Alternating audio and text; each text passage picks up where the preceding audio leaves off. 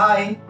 What are the common roadblocks, issues, challenges you face when you're doing a Lean Six Sigma project or implementing Lean Six Sigma in your organization? This is super duper important question. Why? Because interviewer would like to know whether you have really done some project or you're maybe cooking up some story. As you know, apart from NIQC, almost none of the institution will give you opportunity to do Six Sigma project and Six Sigma Black Belt journey, right? Okay, so in today's video, I'm going to explain what are the common roadblocks you face and what are the possible solutions that you can give.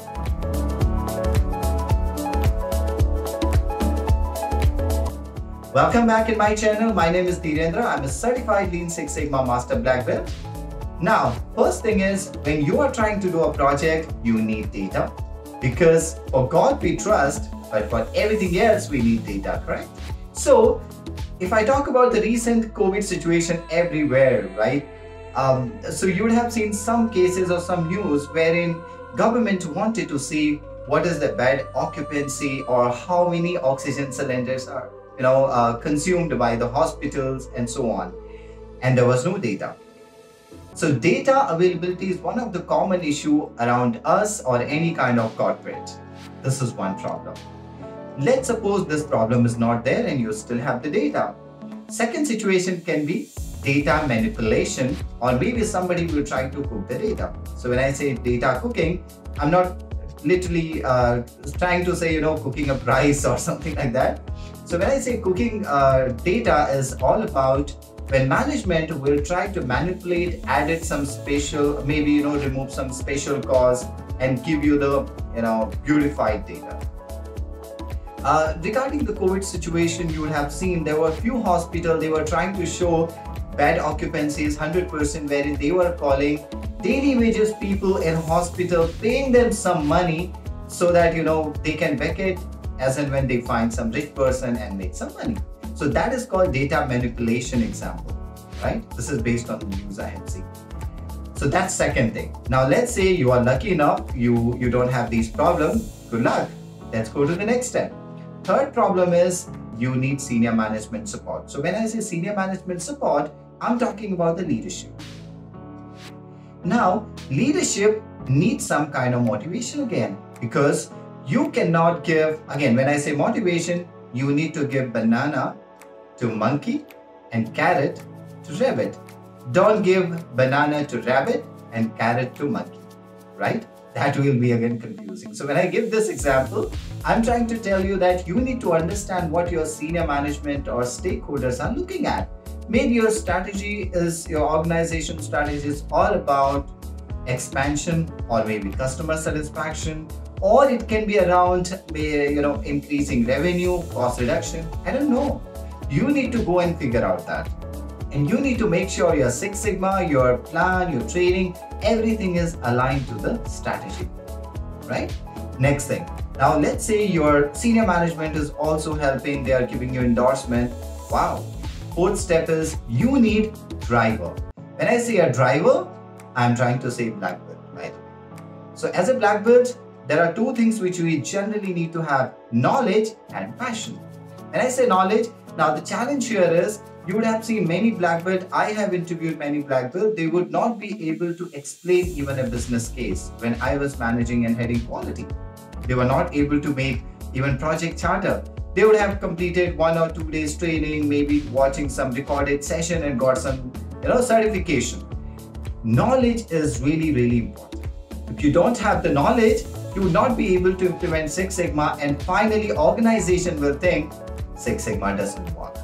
That's not the case, right? If you have the right knowledge, you'll be able to implement. So you need a driver knowledge at the same time passion as well. So when I say passion, many black belt are not passionate enough. They just want to complete six, seven project in a year and that's it.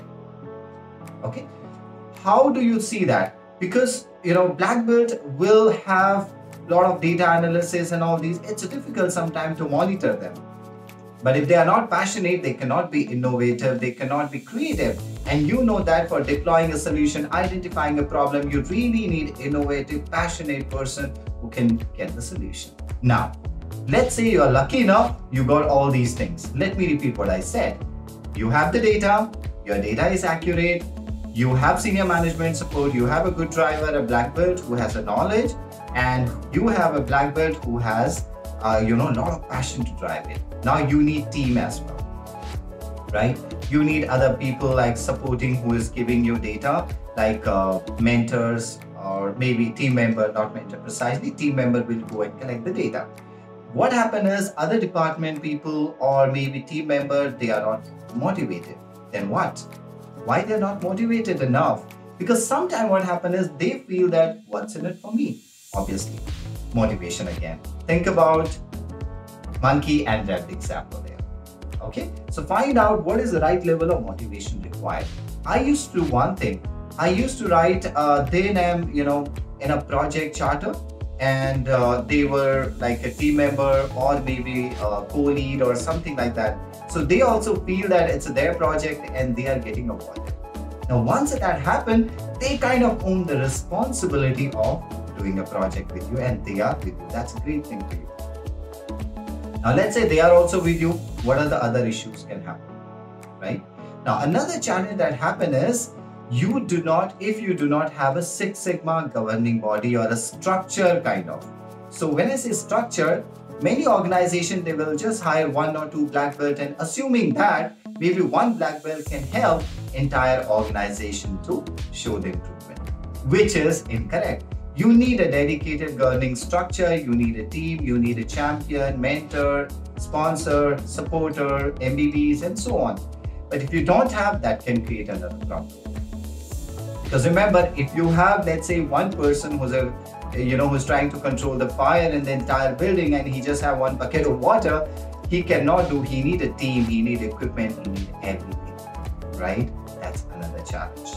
Once that is there, last but I would say very very important clarity of role and responsibility. So when I say clarity of a role and responsibility, now mentor would not know what he has to do what team leader has to do, I mean project leader, what team member will have to do, that can again create a problem and can lead to a failure as well. Right? So now these are a couple of roadblocks which I see. Apart from that, when you talk about a team member, please make sure you do not select the wrong team member. This I have covered in my previous video as well, that often we get someone who may not be a good performer and super performer for the uh, you know business and uh, you will have to uh, you know do project with that. So please understand that a person when you are taking him in a project team you interview him really well right? And once you interview you also check the historical performance. He should not be just coming for maybe spending time and saying that my name is also there in a project and that's it so these are around 10 roadblocks which i have told you let's repeat all once again first data availability second data accuracy. Third, again, you need senior management support. Fourth, you need a driver who is, uh, you know, kind of skilled. Fifth, he should be passionate. Sixth, I would say the other department who are giving you data. Seventh, you need a good team member. Uh, eighth, I would say, of course, um, you know, when you're selecting team member, it should not be wrong. Right team member should be there. And next two is all about you need to have a Six Sigma governing body. And last one is clarity of role and responsibility. So please make sure that you do not face these challenges. If these are the issues, you should have some backup or solution.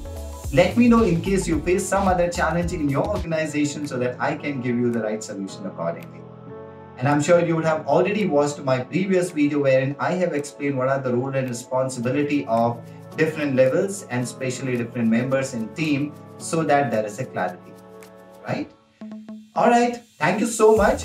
That's it for this video and I'll catch you again and I'll see you in the next video. Till then, take care, signing off, bye-bye.